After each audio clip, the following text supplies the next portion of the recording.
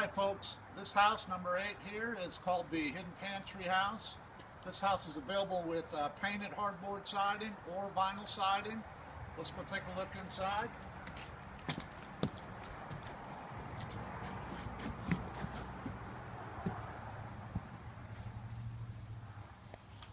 It's a beautiful home. It's almost 1,200 square feet. It does feature a glamour bath and an awesome kitchen that people just love. Call it the hidden pantry house because you have this false cabinet here that opens into a pantry and utility room. That's where your washer and dryer is. You also have this beautiful wraparound kitchen with stainless steel sink and a window right here at the sink. You're open with the dining room to the living, but you also have just a little, just enough separation between your kitchen dining and your living room.